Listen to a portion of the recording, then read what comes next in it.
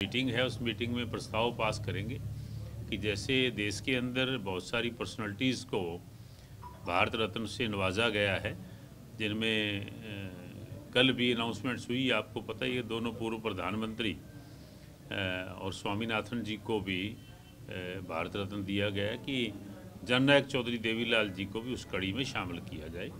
उनको भी भारत रत्न से नवाजा जाए, क्योंकि वो एलिजिबल हैं और बहुत बड़ी पर्सनैलिटी थी, जननायक थे। तो ये आज हम पार्टी की तरफ़ से, पार्टी के कार्यकर्ताओं की तरफ़ से एक प्रस्ताव पास करके तो सरकार को कहेंगे कि उनको भी इसमें शामिल किया yes new Durga jeweller Sirsa. Khariya वाले प्रभुजी सोनी व पीली मंदोरी वाले सज्जन सोनी का भारत सरकार द्वारा मान्यता प्राप्त मशहूर hallmark jewellery showroom. New Durga jewellers Parshuram Chowk, Sirsa. अधिक जानकारी के लिए संपर्क करें नौ आठ एक तीन नौ तीन दो शून्य शून्य एक या नौ चार छ छ छ नौ सात दो एक सात।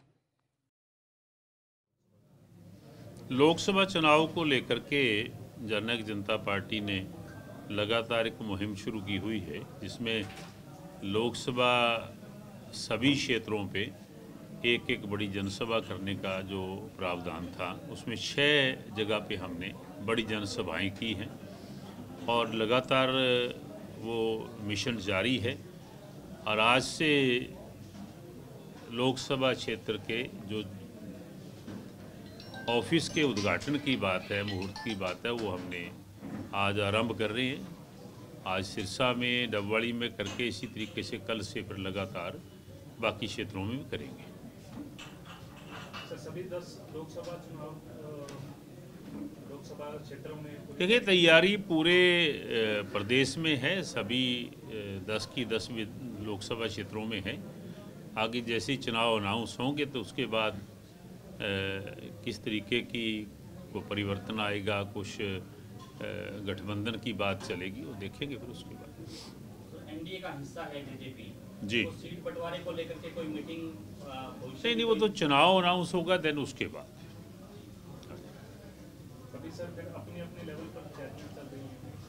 हाँ। हाँ वो तो शुरू से चल रही है। भारतीय जनता पार्टी भी कर रही है हम भी कर रहे हैं अन्य दल भी कर रहे हैं।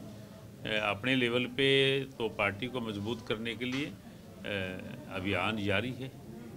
लगातार आपने देखा कि राष्ट्रीय अध्यक्ष जी भी और डिप्टी चीफ मिनिस्टर भी पूरे हरियाणा में गांव-गांव शहर के वार्डों में जाकर के पार्टी को मज़बूत करने के लिए आह्वान कर रहे हैं लोगों को। क्या मुहिम छेड़ी जाएगी? अभी लोकसभा दफ्तर का आज उद्घाटन हुआ है। क्या किस तरीके से देखिए प्रजातंत्र में एक ही तरीका होता है कि आप लोगों के बीच में जाओ अपनी बात रखो अपने किए हुए काम उनके समक्ष रखो ताकि एक माहौल बन सके एक मन बन सके जनता का पार्टी के प्रति। वही अभियान चल रहा है। जननायक जनता पार्टी जो इशू लेकर के चली थी, उसमें आपको क्या लगता है, कितने इशू है, उस पर काम हुआ, कितने देखिए, जो इशू थे, जो हमने डॉक्टर अजय सिंह चौटाला जी ने जितने भी लोगों से प्रॉमिस किए थे, उनमें से काफ़ी हद तक पूरे हुए हैं। एक पेंशन की बात को ले लो, वो ठीक है कि बिल्कुल तो नहीं, लेकिन एक हज़ार रुपये पेंशन सरकार ने बढ़ाने का काम किया। आज वो तीन हज़ार रुपये पेंशन लोगों को मिल रही है। हमने वायदा किया था कि हमारी सरकार बने तो इक्यावन सौ रुपये पेंशन देंगे। लेकिन वायदा तभी पूरा होता कि हमारी सरकार भारतीय जनता पार्टी का ये एजेंडा नहीं था। तो हमारे पास वो बड़ी कलम होती, उसको पूरा करते। तो हमारा तो चिर परिचित अंदाज रहता है कि जो घोषणा करते हैं, उसको पहली कलम से पूरी करते हैं। हाल ही में जो एसएससी की भर्तियाँ हुई हैं, हरियाणा स्टाफ सिलेक्शन कमीशन के हरियाणा में काफ़ी संख्या में युवा हैं, वो धरना दे रहे हैं, कह रहे हैं कि जो कम नंबर वाले बच्चे हैं, वो सिलेक्ट किए गए और अधिक नंबर वाले वो रह गए।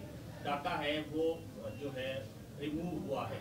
इसको लेकर के आप क्या देखते हैं क्योंकि दुष्यंत चौटाला ने पहले कहा था कि युवाओं को रोज़गार प्राथमिकता रहेगी। प्राथमिकता आज भी है, और ये बात नहीं है, वो तो बच्चे जो कहते हैं, उनकी जो डिमांड है उसके ऊपर उसकी जाँच हो जाएगी तो लंबी चौड़ी बात नहीं है। और ऐसा नहीं हो सकता कम नंबरों वाले लोगों को तो चैलेंजेबल होता है वो चैलेंज कर सकते हैं उनके कोर्ट में भी गए हैं कोर्ट ने भी उनको जो है आगे 20 दिन का समय दिया है जी। और नोटिस भी जारी किया हरियाणा सरकार नहीं वो ठीक है हरियाणा सरकार उसमें जवाब देगी। मैं मान के चलता हूँ ऐसी धांधली बच्चों के साथ नहीं होती।